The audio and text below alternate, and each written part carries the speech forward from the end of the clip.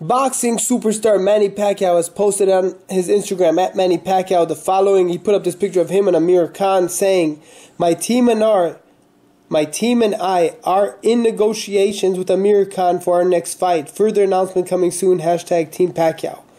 Um, it has almost thirty thousand views at this time. And then if you go and you see Amir Khan, he's responded. He posted, "Amir King Khan, it's him. Game of Pac-Man." And the description is time to play, Pac Man. So Amir Khan against Manny Pacquiao will be an epic fight, a huge fight, a very entertaining fight. Speed versus speed, power versus power. They sparred in the past. It was very close sparring. Sometimes Amir Khan had the best of Manny. Sometimes Manny had the best of Amir Khan. A very dangerous fight for Pacquiao. Brandon Rios told me he has Amir Khan winning. But nonetheless, it's a huge fight. If it happens in the United Arab Emirates, it will be a great, great event. So there you have it. Stay tuned. Manny Pacquiao, Amir Khan may be coming soon to an arena near you.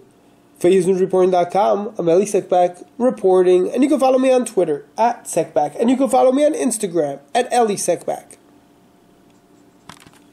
So there you have it, another great video for ES News. ESNewsReporting.com. I'm Elie Seckbach reporting, and you can follow me on Twitter at Seckbach, and you can follow me on Instagram at Elie Seckbach.